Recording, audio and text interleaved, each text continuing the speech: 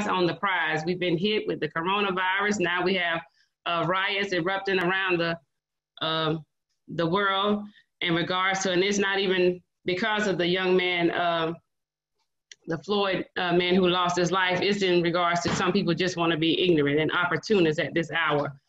Amen. But we just have to pray for them as well that God convict their hearts and that they stay focused. Amen. And I do believe that something needs to be done and it shall be done and it will be done according to his word. But we have to do what uh, we need to do in this hour. That's continue praying and trusting and believing God. And also, if you you know believe in uh, peaceful protest as I do, but it doesn't result to violence. Amen. Amen. Things must be done in decency and in order. Amen. And as I stated before, let's keep uh, everyone lifted up in prayer. You know, Bishop is in law enforcement, and then we have the Myers that are in uh, part of the military and National Guard. So let's keep them lifted up in prayer as well. Amen. So no man knows the day nor the hour may, what may transpire out of this, but we know the God that we serve are going to keep us, amen, protected. Amen. So again, I'm going to talk about Pentecost on today. I've come to lift your spirits and let you know that we're going to rejoice not just today, but every day, and to explain, as he's already stated, what Pentecost is. And I'm going to give you a few notes, and we're going to go into scripture on this. Uh, it says Pentecost uh, this year is celebrated on May the 31st, and this is also the celebration of my brother's birthday as well as my uncle. So we have a lot to celebrate on today. Um, Pentecost is the Holy Spirit upon the apostles and other followers of the Jewish, um, I'm sorry, of Jesus Christ while they were in Jerusalem celebrating the festival. Pentecost comes from a Jewish harvest festival called Shavuot. The apostles were celebrating this festival when the Holy Spirit descended on them. And people passing, they actually thought they were just drunk, but they were actually drunken in the Holy Spirit, where the Holy Ghost had uh, they had received the Holy Ghost and had fell down upon them. Amen. So I want you real quick to turn with me, and I'm going to read. We're going to teach on today. I'm going to read uh, starting at Acts, the second chapter. So if you have your Bibles or your uh, phones or computer, go with me to Acts because we're going to read today so you can get an understanding on what exactly Pentecost is. And then I'm also going to touch on uh, speaking in tongues, because I know um, we can hear things from others, but I'm going to show it to you in the word on today. Amen. All right. So good to see everyone once again on the line. So good to see our visitors on the line as well as family. Amen. Amen. So we're going to start in Acts, the second chapter, and I'm going to begin reading to you at the first verse. Amen. And it says, again, that's Acts 2. We're starting at verse 1. And when the day of Pentecost was fully come, they were all with one accord in one place. And suddenly there came a sound from heaven as of a rushing mighty wind, and it filled all the house where they were sitting. And there appeared unto them cloven tongues like as, like as a fire, and it set upon each of them. And they were all filled with the Holy Ghost, and began to speak with other tongues, as the Spirit gave them utterance. Mm. And there were dwelling at and there were dwelling at Jerusalem Jews, devout men out of every nation under heaven. Now, when this, uh, this was noise abroad, the multitude came together and were confounded, because that every man heard them speaking in his own language. And they were all amazed and marveled, saying one to another, Behold, are not all these which speak Galatians? And how here we every man in our own tongue wherein we were born. Parthians and Medes and Elamites and the dwellers in the Mesopotamia and the Judea and Cappadocia and Pontus and Asia, Phrygia and Pamphylia in Egypt, and in the parts of Libya about Cyrene, and strangers of Rome, Jews, and the proselytes. Cretes and Arabians, we do hear them speak in our, tongue, in, in our tongues the wonderful works of God.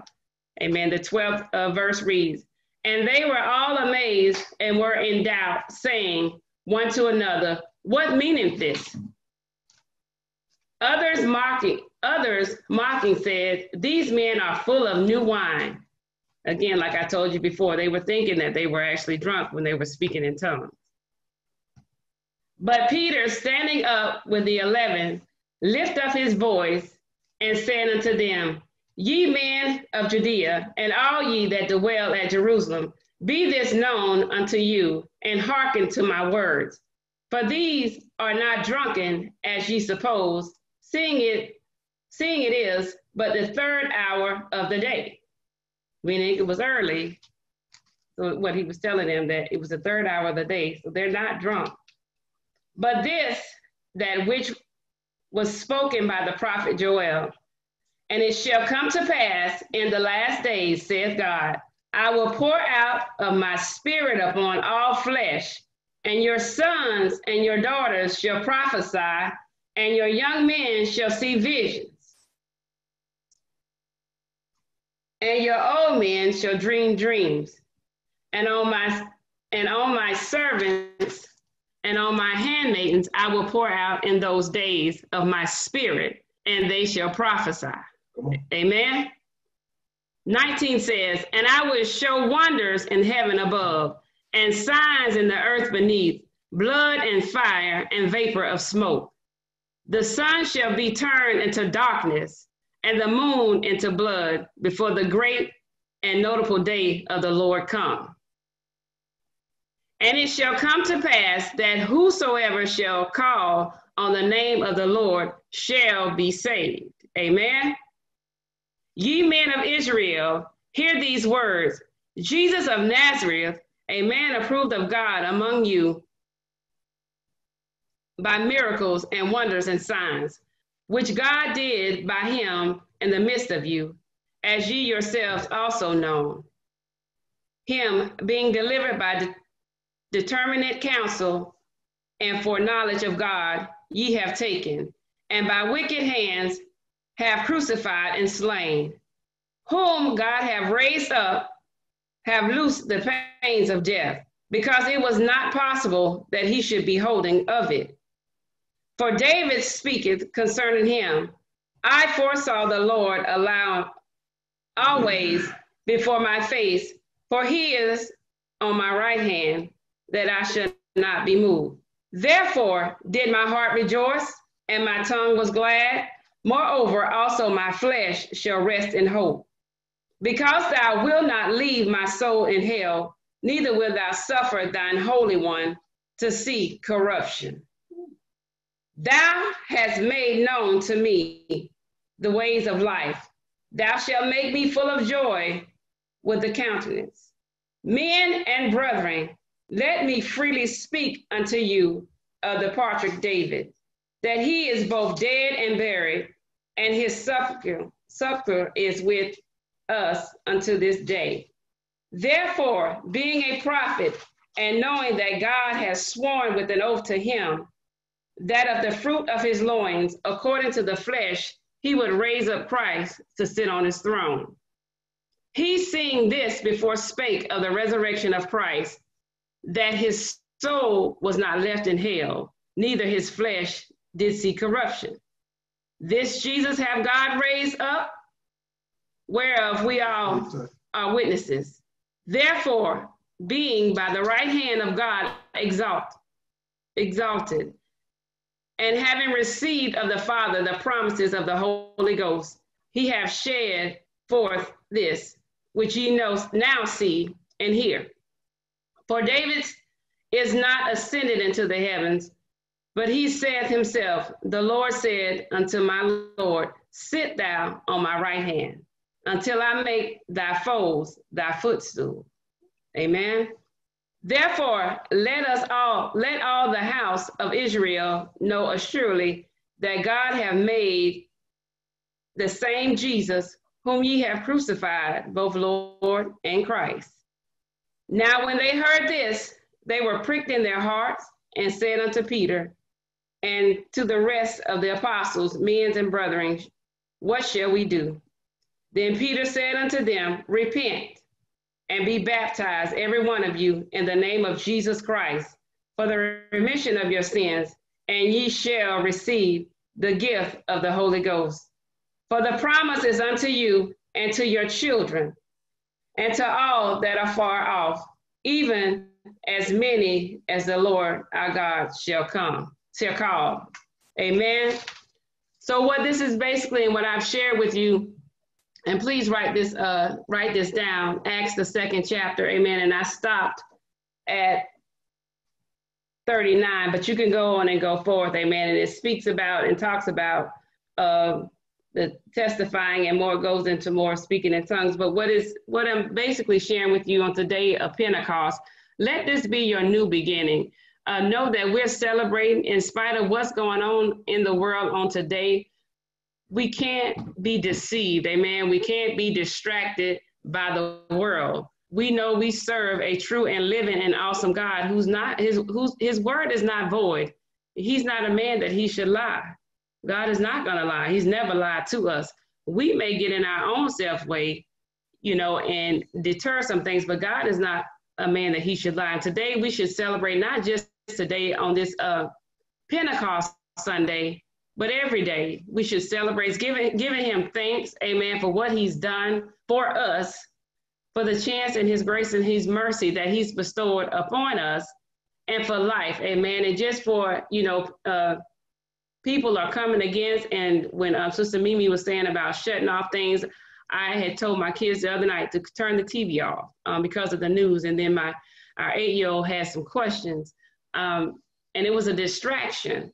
And, and I applaud her for saying and sending out a text for uh, which was the right thing to do for people to go in prayer. And anytime you find yourself, you know, getting disturbed or getting trouble, that's the best thing. And, and the the only thing to do is to seek counsel from God. Amen.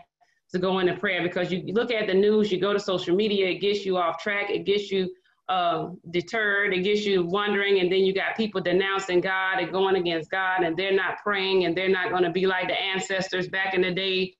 Um, they want to fight, and what is that going to result in? Nothing but death. Amen. When God truly told you He's in control, He's in charge.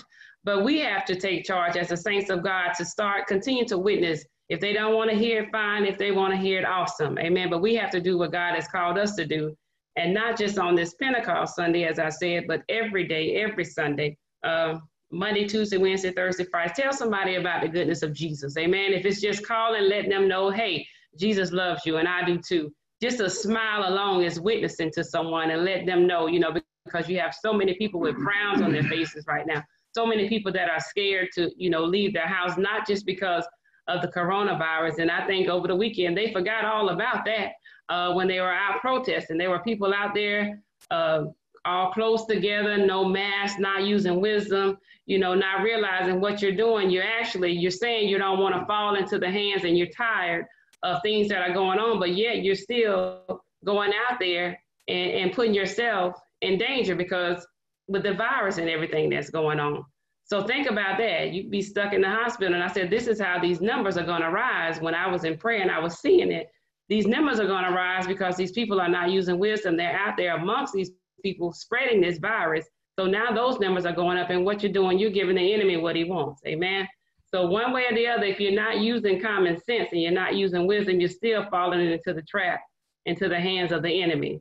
So if he's getting you out, if you're out there peaceful protesting, you're going to use common sense and wisdom. You're going to space yourself out. You're going to wear your mask and you're going to go out and protest. But when it's out of ignorance, amen, and opportunists, you're going to go out there not using wisdom and going to cause yourself to be sick. So if the police don't get you, shoot you or kill you, amen, you're going to kill yourself. Basically what it's boiled down to. And that's what they were trying to get into the hearts and the minds of people um, on yesterday. So as I was seeing, um, I'm not on social media, um, but even in the news, I was seeing some things and some of the comments that people were making, and I said, Lord, have mercy on them, help them. You know, um, it is time out for some of this stuff, but God is in control. He's going to handle it all, but we have to do our part. And as the scripture says, and as we've repeated over and over, you know, we have to humble ourselves and this world has to turn from its wicked ways and then when we hear from heaven and he will heal the land amen So, in spite of what it looks like, I want you celebrating. I want smiles on your faces. Amen. If somebody want to cook dinner and invite me over, I will come over. But we, uh, for this Pentecost Sunday, amen, let's go out rejoicing on today and thanking God for his Holy Spirit, thanking God for the Holy Ghost, amen, thanking him for who he is, thanking him for his resurrection powers, his saving powers, and everything that he's doing for us, amen. When the enemy think he's doing something to us, just know that God is doing something for us. Amen. And keep your minds, your hearts stayed upon Him, no matter what it looks like. Amen. Uh, again, continue to practice um, your social distancing uh, right now until God takes this thing off of us. Amen. Out of this land because it's His doing. Amen. And uh, just keep using wisdom. And like I said, keep praying for what's going on in the world on today. Amen. All this stuff has to be revealed and it has to come forth because it is in His word. But we're praying that God is going to convict these people, these uh, people that are, of higher authority that thinking they're getting away with things. They're not. They're not. But it's how we react. What are we going to do? How are we going to go about these uh, situations? Yeah, it hurts. It makes us upset. But we got to know we are the child of the living King and we have to represent him well and just continue to pray for those people that their lives be uh, changed and that God saves their souls. Amen and I know it's hard, it's, it's, it's rough, it gets, you know, and first natural. It upset me when I saw this, when I saw the videos, but we have to too uh, educate our children and let them know um, what's going on. There's no young age, they're, they're not too young to know what's going on, but enlighten them so they will know the precautions they have to make. Um, we, with the autistic son that we have, uh, he's 16, he's huge he'll take off running in a minute and you know i don't want anybody hurting my my child hurting my son so i have to be more precautious in that area as well and just to uh, watch him more closely and just ask god to cover him and protect him we have to do our part we know god is in control and he's in charge but we have to do be about our father's business on this land when we see people distorted and upset in the grocery stores and everybody want to kill everybody right now and doing what the enemy wants us to do, separation. And that's not what God wants because if you cut me and you cut the white man, you cut the Indian over there, and you cut the uh, Asian, we all bleed red blood. We all are uh, children of the King. Amen. Amen. So don't give, don't don't fall into it, you know, with the hate, because um, that's what he, they want. And pray for your pray for our president. Amen. Pray for him that God save him, and that God heal him, and God remove him. Amen. Amen. So I just thank God for all of you. I hope you've gotten something out of this on today, on this Pentecost Sunday, which is May 31st. Amen. The last day of the month of May. And as Bishop stated, um, I will be celebrating from June the 1st to June to 23rd, which is my birthday. Amen. So I thank God for all of you and everything that transpired. I hope you got something out of the lesson on today. Amen turning it back over to our very own bishop.